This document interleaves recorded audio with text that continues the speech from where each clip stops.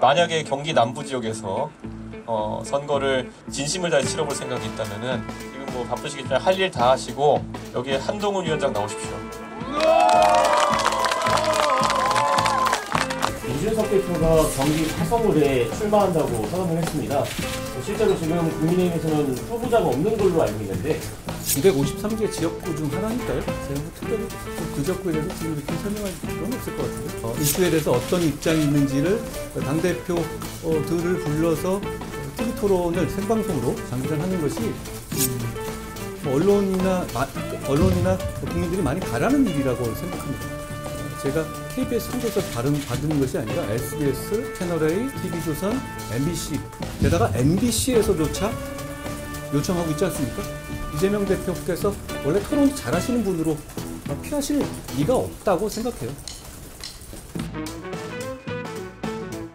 이재명 대표가 원하는 시간에 제가 어디서 뭘 하고 있든 간에 하루 전에만 알려주시면 제가 그 시간을 맞추겠다는 말씀을 드립니다. 엄격하게 어, 공천하고 있는 것은 우리고 이재명 어, 이재명 대표 측에서는 어, 음악 좋네.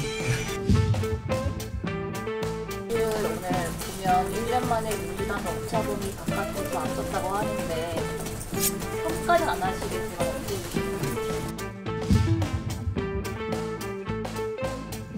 이준석 대표가 경기 화성을에 출마한다고 선언을 했습니다.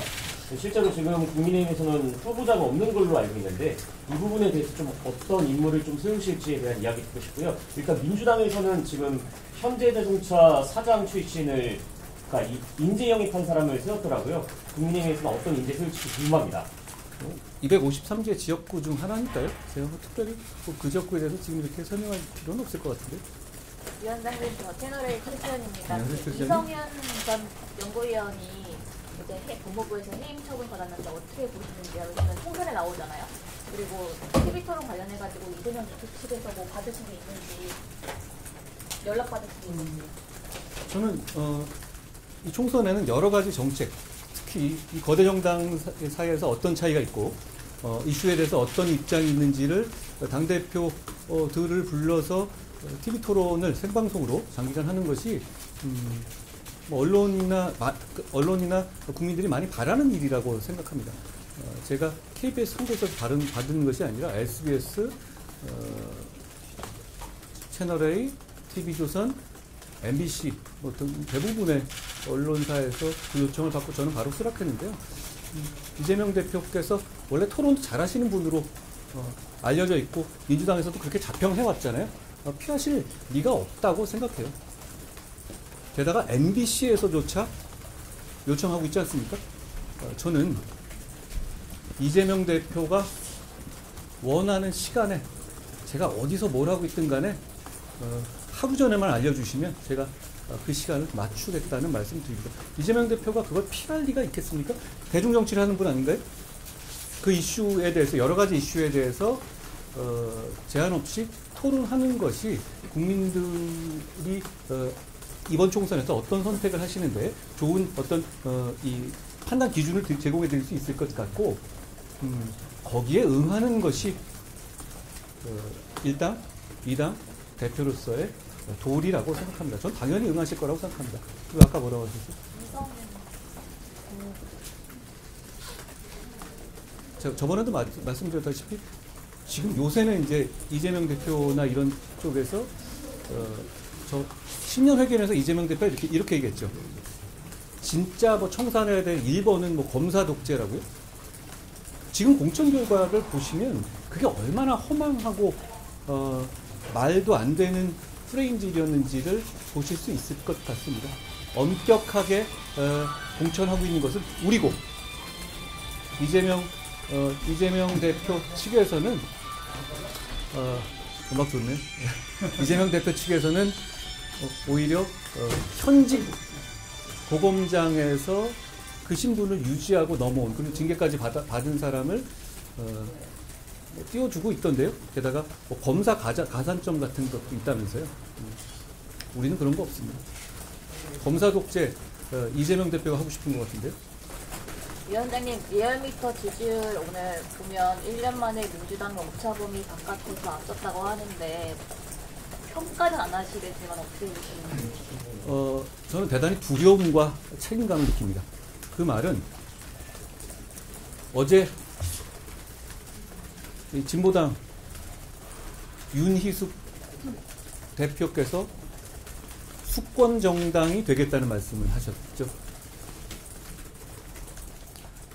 얼마 전까지만 해도 한석밖에 없는 어, 그 위헌정당, 통진당 후, 후신인 진보당에서 그런 말을 한다면 그냥 레토릭이고 허세라고 다들 생각했을 겁니다.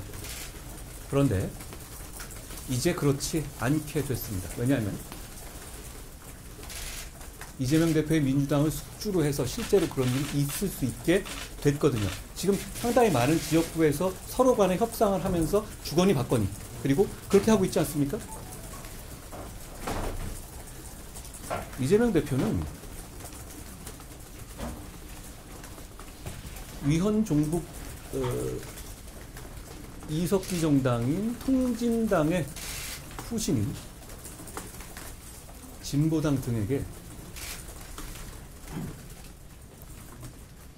전통의 민주당을 희화화시키고 망가뜨려서 숙주로 숙주로 내주는 대가로 자기 자신의 형사 문제에서의 안위를 추구하고 자기 당권을 받는 음험한 거래를 하고 있습니다. 그 거래는 원내 제1당에서 이루어지는 거래이기 때문에 국민들에게 직접적인 해가 가는 국가에 대단히 해로운 거래입니다.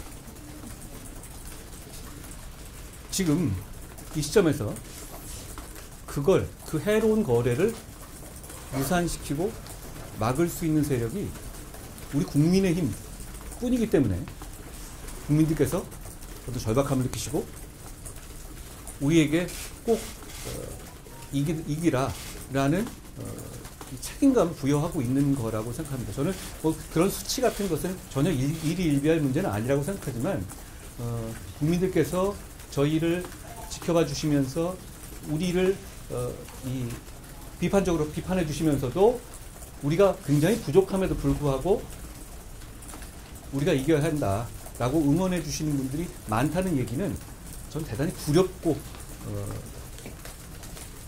책임감을 느끼면 두리, 두려움과 책임감을 느끼면서 받아들입니다. 저희가 아직 굉장히 많이 부족하고 사실 민주당이 뒤지고 있습니다.